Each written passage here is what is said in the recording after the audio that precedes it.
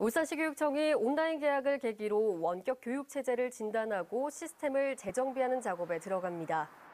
시교육청은 이에 따라 18명으로 원격 교육 체제 강화를 위한 특별팀을 구성해 온라인 계약과 등교 수업, 등교 수업과 원격 수업 병행 때 나왔던 문제점을 발굴하고 개선하기로 했습니다.